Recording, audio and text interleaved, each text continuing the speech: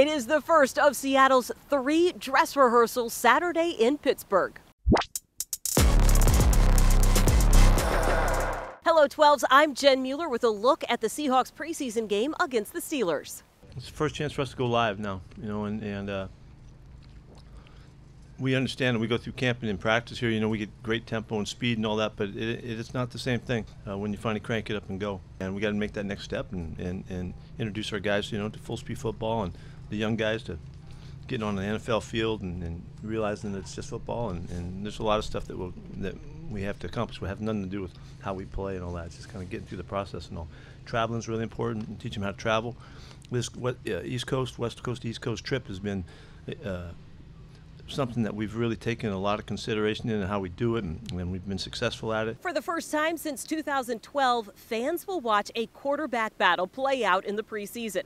That is one of the biggest storylines going into the game.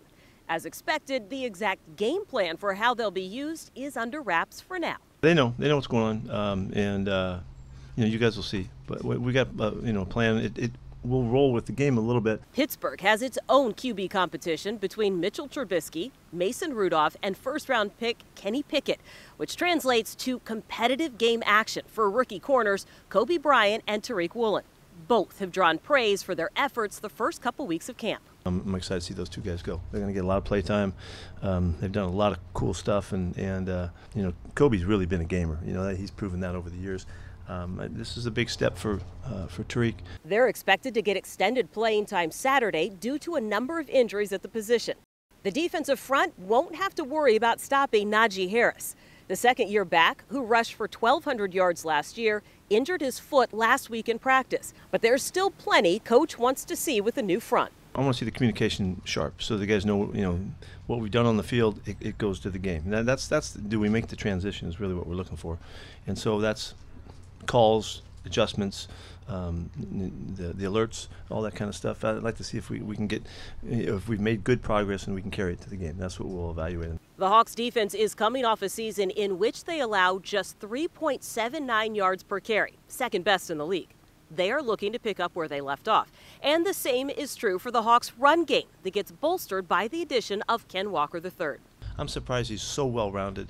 Um, runner, uh, he's blocking. I, I, again, I think I mentioned it the other day, but his, his pass protection stuff, he just he just turned the page. I mean, he wasn't he was not very good in college um, as a pass protector, and we didn't know, you know. But Chad's done a great job with him, and uh, Amanda, they've worked really hard with him to get him. To, so it's important, but for this kid, this kid, everything's important. He wants to be great, and uh, he's not going to let any stone be unturned. And, and uh, so I'm really excited to see how he goes. He's going to get some good play time in this game and get him comfortable with you know with the speed of the game and all that. And uh, I expect him to do well. Especially if the offensive line can continue to make progress and the rookie tackles take another step in their development. They're going to play a lot in this game and get, get a lot of airtime, and, and uh, they've they've really been battling. Um, it's I, you know I don't know how they'll take to the game, uh, other than I would predict that they're going to do just fine.